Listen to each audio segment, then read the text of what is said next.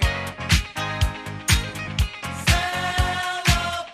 Good times, come on. Let's celebrate. There's a party going on right here, a celebration to last throughout the years. So.